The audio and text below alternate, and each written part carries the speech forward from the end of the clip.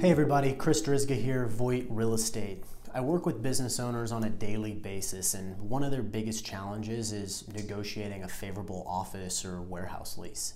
So I came up with seven helpful tips that any business owner can utilize when they're negotiating their next lease. Number one, get representation. This means hire a real estate broker that is representing you and you only. They're going to eliminate any conflict of interest and they're going to have your best interests in mind at all times.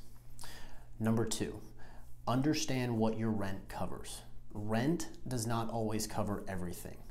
You need to ask the question what it does and does not cover, such as utilities, taxes, insurance, janitorial. The list is, is extensive. Number three, weigh the pros and cons of a particular location. An impressive address is only necessary for certain types of businesses.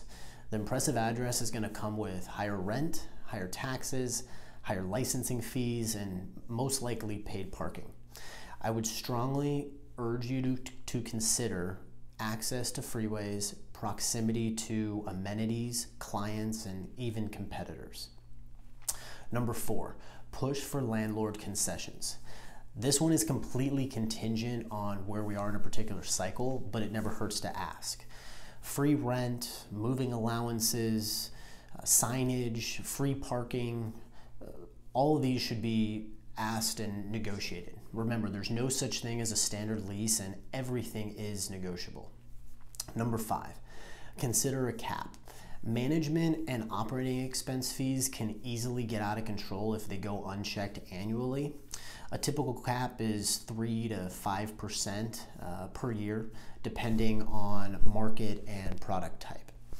Number six, insist on an emergency valve. You may be wildly successful and quickly outgrow the space. Alternatively, you may have a hard time making rent every month. Either way, you need to be able to get out of that space as quickly as possible. Some of these include subleasing or assignment rights, even termination rights. These all can become very, very intricate, so I strongly suggest you consult with your broker and or attorney before making any final decisions. Last but definitely not least, give yourself time.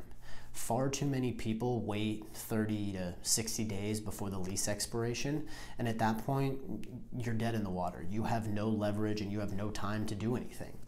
Uh, regardless if you plan to renew or not, you should be actively evaluating this six months in advance, arguably 12 to 18 months.